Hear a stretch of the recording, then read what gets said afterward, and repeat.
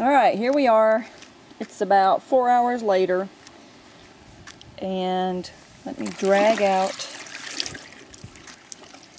We just submerge these in a bucket of the glycerin soap.